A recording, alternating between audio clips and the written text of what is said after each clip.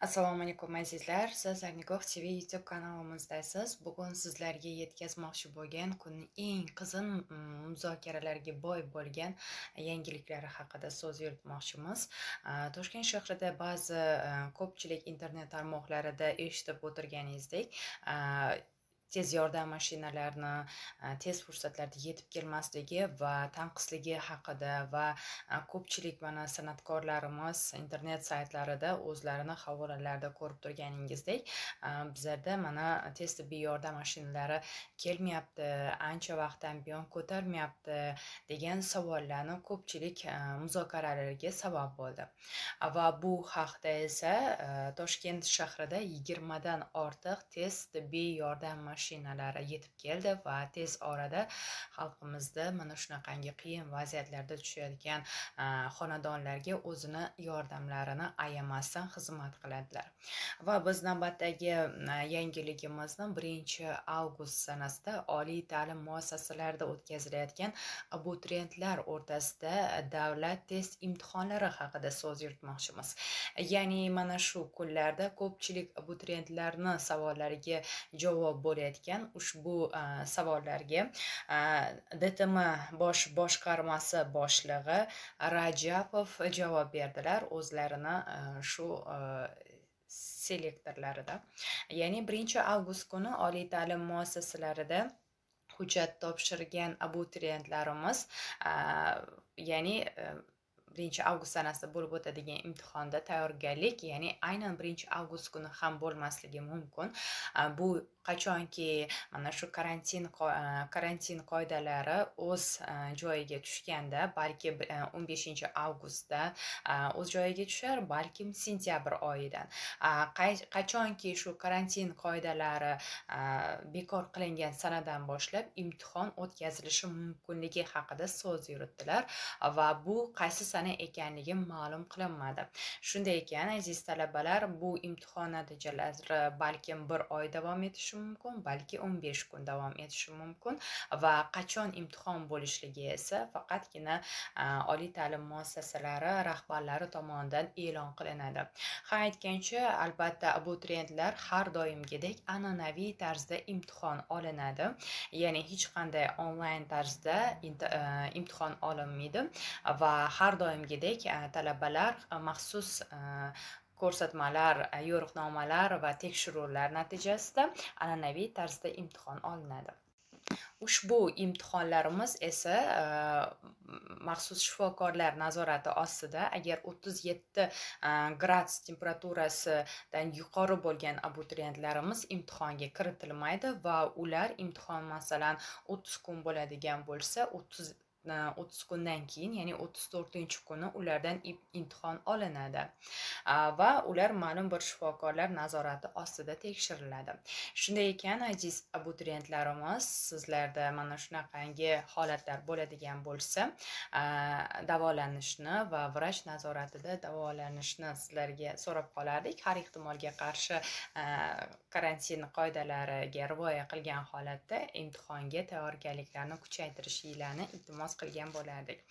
Va mana e, kecha kunduz e, yaqinda mana prezident e, shavkat mirziyoyev tomonidan topshirig'iga binoan rossiya federatsiyasining novosibirsk shahridan ikki yuzga yaqin o'zbekistonlik talabalar charter reyslar orqali o'zbekistonning islom karimov nomidagi aeroportida kutib olindi va ular maxsus tekshiruvlar natijasida o'tkazilib va o'zlarini ularni qo'l ostidagi narsa buyumlar chemodanlari ham maxsus tekshiruv nazorati ostida sanitariya gigiyenik qoidalariga amal qilgan holatda o'tkazildi va ular bir necha kun davomida karantin qoidalariga rioya qilgan holatda karantin nazorati ostida saqlanadi va undan so'ng oila a'zolari bag'riga jo'natiladi.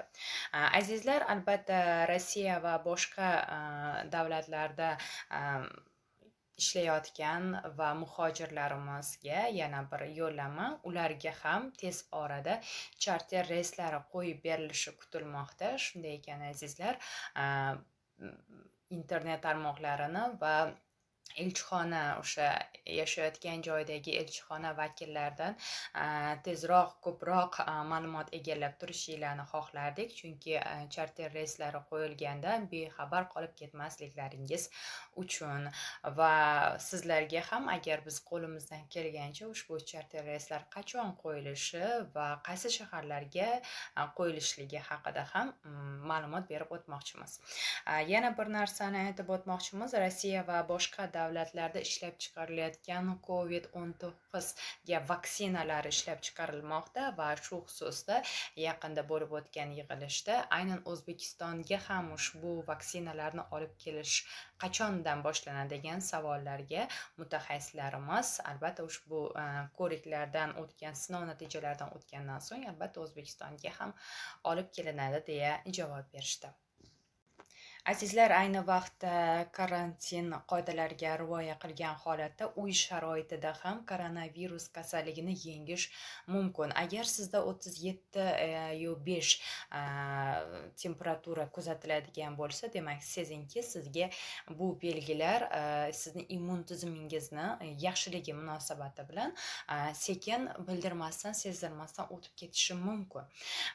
Lekin siz uy sharoitida bu kasallikni yengishingiz ham ham mumkin. Buning uchun qo'lingizni tez tez sovunlab turishni kanda qilmang va ko'proq malinali choy namataklik choy ramashkali choylarni ko'proq iste'mol qiling va kuniga uch to'rt litrgacha suyuqlik iste'mol qiling va og'zingizni tez tez fratsilin eritmasidagi suyuqlik bilan chayib turishingizni maslahat beramiz va ko'proq sabzavotlar salatlar va chesnok piyoz nimalarni tezroq e, yeyishni ovqatga qo'shib yeyishni tavsiya qilamiz. Ana o'shanda siz ushbu kasallikni yengasiz.